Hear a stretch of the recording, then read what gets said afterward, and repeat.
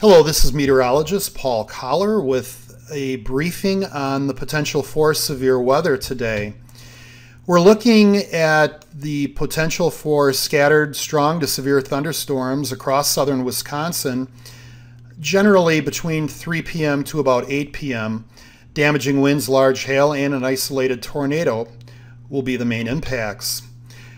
The Storm Prediction Center has put much of southern and central Wisconsin in a slight risk.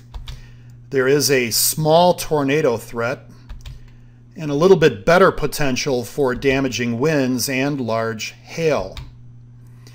A surface low will be moving into northwest Wisconsin by 1 p.m. today. This will have pulled a warm front north through the area, which will bring in plenty of uh, warm and humid air. And the trailing cold front will move through, helping to generate these thunderstorms. This is a model simulation for this afternoon and evening. The image on the left shows a possible scenario between 3 and 5 p.m., and the image on the right shows a possible solution for 6 to 8 p.m. Right now, the higher threats would be for damaging winds and large hail with a smaller tornado and heavy rain threat. Stay tuned for more information.